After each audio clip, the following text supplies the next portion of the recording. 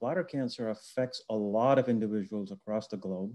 Um, it really is the fourth or fifth most common cancer, um, depending on how you rank cancers. And it's a very, very common cancer that we as urologists and urologic oncologists treat globally. And as recognized by PRAME, you know, the International Bladder Cancer Group is a group of experts that have come together in, in, trying to improve treatments and of course, quality of life for our patients. And when it comes to BCG, there's sort of a special role that BCG plays in the management of bladder cancer, but also in the hearts of us um, globally because it's such a, a, universally accepted and available treatment option. And uh, for that reason, you, you, know, when you asked us to talk about this and for today's webinar, it was almost like the perfect uh, topic to talk about. So in the next few minutes, um, I'm gonna briefly introduce the concept of BCG for non-muscle invasive bladder cancer. And I, it's ironic that I'm saying briefly introduce in the year 2021 because BCG has been around, as you know, uh, for decades, right? But even today, there are certain myths and mysteries uh, behind BCG, and this is a topic that I was actually invited um, several years ago at an give at an international stage, and I've compressed from that talk, and I'm going to present here today in, in a shorter amount of time, just in the interest of the program per se. Because after my talk, we're going to launch into a case panel discussion, which I think will be an ideal format uh, to disseminate knowledge in which uh, two of my friends and colleagues from around the globe will be presenting cases. Um, I'll pretend to be the expert that knows something about bladder cancer and try to respond. And then we'll also have a, a nice discussion amongst ourselves. So why is this topic important today? You know, when we think of cancer immunotherapy, you go to any meeting, the GUASCO meeting that was just finished uh, a couple of weeks ago, or, or any other meeting, and you'll see essentially that people think about immuno-oncology in the sense of checkpoint inhibitors, PD-L1 inhibitors, um, and it's not just in meeting proceedings, it's even in the lay media, all over the newspapers, everywhere. Um, you look at checkpoint inhibitors, and that's the immune oncology that everybody talks about. But people tend to forget that the original cancer immunotherapy, the immunotherapy that's been used for cancer for almost forever, um, is BCG. And urologists are very, very attuned to using immunotherapy for cancer. And in fact, in times when there's no global shortage of BCG, as urologists, we administer about 1.2 million doses of BCG annually. So that's a lot of immunotherapy that's being administered to our patient, and it is an extremely effective immunotherapy. But there are some myths about BCG, and I'm going to try to dispel them in this short talk. So the first myth, and this is ironic that we hear this even today, even in the year 2021, is you'll sometimes hear people stand up and say, well, BCG doesn't really reduce progression rates. I'm only reducing recurrence rates. So it's just a temporary fix for the patient. And that's just not true. This is an older publication. I'm presenting this because it's important that everybody recognizes classic papers. And this paper from 2002 is the classic paper from Sylvester that showed beyond a doubt, looking at multiple trials and the analysis of progression, that BCG does reduce progression rates when it's used appropriately. And by appropriate treatment, what I mean is that BCG will reduce progression rates only when maintenance therapy is used. So if you're putting your patient on BCG therapy and you're not using maintenance therapy, then sure, you're not helping your patient. You're not reducing progression rates. But if you use BCG appropriately, then you are reducing progression and you're actually decreasing the need for our patients to undergo radical cystectomy, which is a life-altering you know, procedure, even though as, as a group, we've had multiple advances, especially through the Vattikuti Foundation, on improving quality of life after radical cystectomy. Clearly, patients don't want that treatment. And this is just fresh off the press. Uh, this was just published last month in the Journal of Urology. It's online right now. This is data from MD Anderson Cancer Center showing that if you use BCG appropriately, the incidence of progression in the intermediate risk patients, which are the low grade patients, is zero. It's essentially zero. None of these patients progress. And even in the CIS TA-T1 combination group, at five years, the progression rate is less than 10%. And this is important for any of the trainees that might be on the call, because if you look at classic publications uh, from the Journal of Urology, the AUA, et cetera, they cited progression rates of 30% and cystectomy rates of an additional 30%.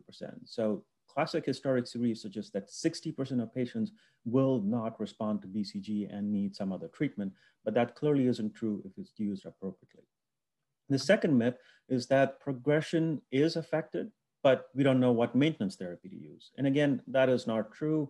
This is the only maintenance regimen which has been proven to be effective. This is the classic SWOG protocol or the LAM protocol after Don Lamm, um, who proposed this and showed where if you use the SWOG protocol, which is six weeks induction BCG followed by three weekly maintenance at three months, six months, and every six months for um, three years, then you have a decrease in recurrence rates both in CIS and in papillary-only patients. Now, if you use maintenance in other fashions, such as one instillation every three months or one instillation every month, it does not help. So in these cases, yes, maintenance is no better than induction alone, but you should not be using that maintenance schedule. And the most common mistake that urologists used to make was giving six weeks of BCG, then waiting about three to six months and giving six more weeks of BCG. And Joan Palou, who's uh, you know, a founding member of the IBCG as well, showed in a very good multi-center Spanish studies that doing that doesn't really help improve the results of induction BCG alone. And there's reason for that. This is, again, a classic paper that shows the induction of cytokines. It's been replicated many times, including at our center and others, but I wanna show this because this is a classic paper that shows that when you're giving BCG to a BCG naive patient, you have an increase in the cytokines all the way up to week five and six. But when you then reinduce a patient that has been exposed to BCG, you only get the rise in cytokines up to week three. And after that, you're actually suppressing the immune system. So more BCG isn't better. You have to do it in the six plus three fashion to get the optimal response. And more recently, just last this year, um, this was published this is the Nimbus phase three study that tried to see if you can alter this maintenance regimen using the six plus three, but decreasing the amount of BCG. And this is, again, a very classic study. You see the distribution of patients that, that had the BCG therapy. This is the bottom line. When you try to mess around with this classic six plus three regimen, again, they follow at six plus three, but they just decreased the number of instillations of BCG. The recurrence rate went from, you know, 8, 10% with the classic arm to 18, 25%. And so clearly six plus three is the way to do it. And that is something that should no longer be a misconception with BCG. Now, another myth is really that BCG is only indicated for high-risk disease. This is not true. A classic uh, study, 3, um, EORTC 311, showed that BCG is effective even for low-grade tumors. And in fact, in the low-grade tumors, BCG is effective enough that it actually decreases um, the incidence of metastatic disease, which is low to begin with, but it still has a powerful enough reduction in the incidence of death, metastatic disease, and overall in disease-specific survival. Now, clearly in the times of BCG shortage, our group and others have come out with ways in which you can save BCG for patients who truly need it. So for the intermediate low risk patients, uh, sorry, intermediate low grade patients, we recommend that you follow this um, risk stratification and only patients who have multiple tumors, large tumors, early recurrences, and frequent recurrences, So essentially three or more point factors, should be considered to have severe enough disease to get BCG. Otherwise, you really should be saving the BCG for the patients with high risk disease who really need it. Now, another common thing that we hear being talked about is that BCG is something that patients cannot tolerate. This is again based on old data, old series, and, and misinformed people. If you look at more contemporary studies, such as EORTC 30962, in a comparison of full dose and one third dose BCG in close to 1,300 patients, less than 10% of patients had to stop BCG for toxicity.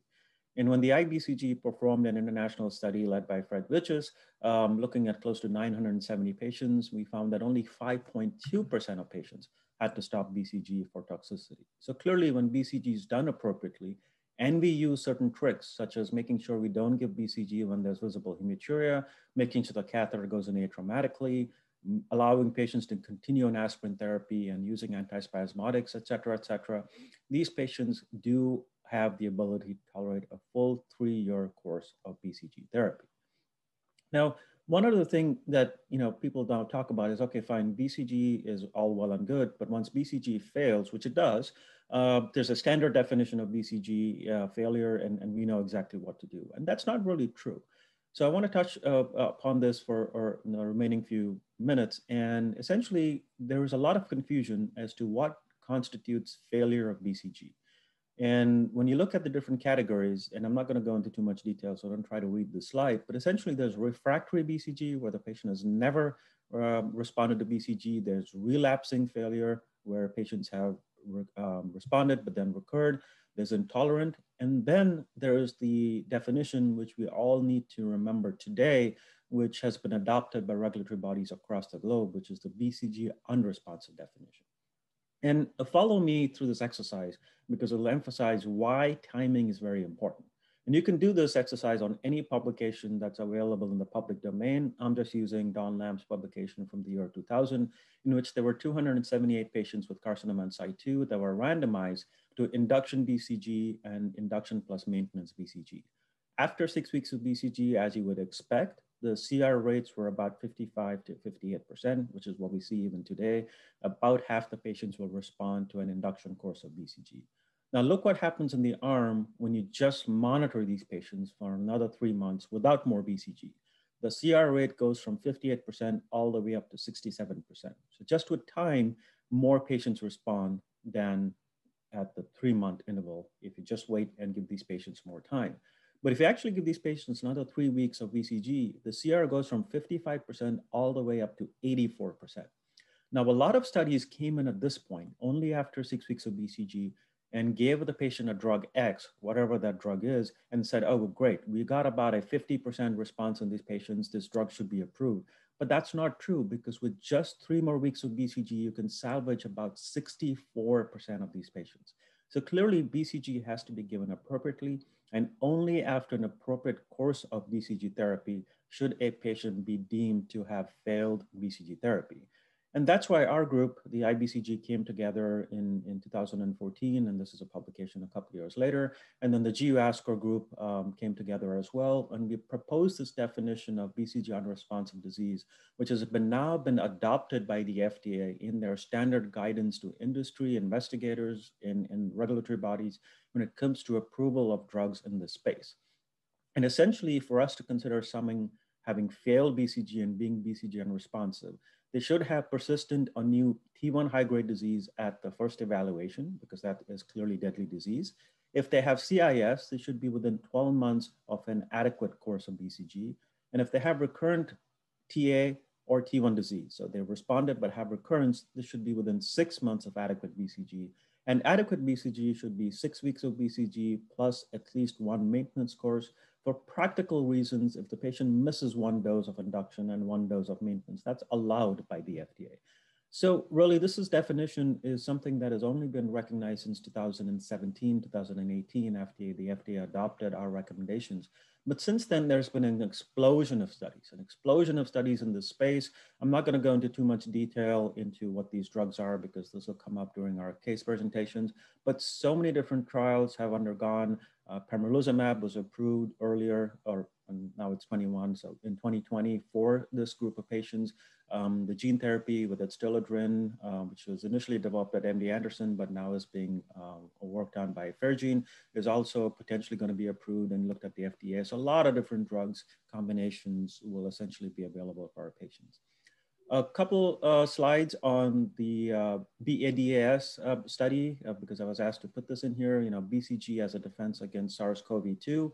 Um, just a brief background here, you know, obviously when COVID hit all of us last year, we're trying to look at different correlations and different associations to see why certain countries had more incidents and why more people were dying in, in North America, for example, as opposed to India, et cetera, et cetera. And at that point, I reached out to Dr. Hegarty, who, who I've known for many years now, um, and he was able to kind of do a deep dive into the association of BCG vaccination programs in different parts of the world and the incidence of BCG.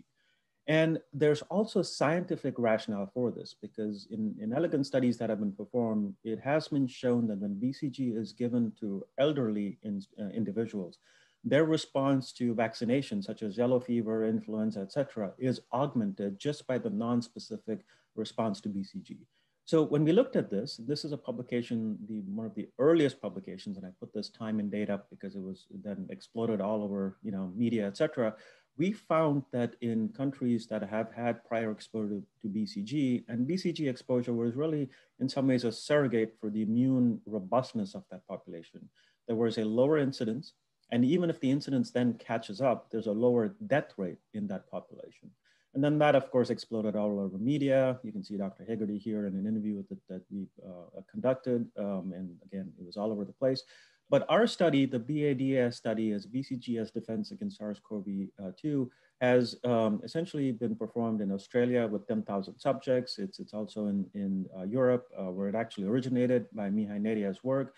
Uh, the Gates Foundation is supporting this. And of course, in the United States, um, we are uh, still looking at the data, especially in patients who are now, or individuals who are now actually getting the specific SARS-CoV-2 COVID-19 vaccines to see how their immune system might have been augmented by them being exposed to BCG. So with that, I, I want to thank you again for your attention.